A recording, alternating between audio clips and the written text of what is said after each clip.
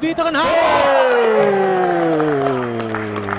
Jawohl, 13. Minute, wunderbar. Alles 1 für den FC St. Gallen. Und Basil Stillhardt ist es gewesen, ja?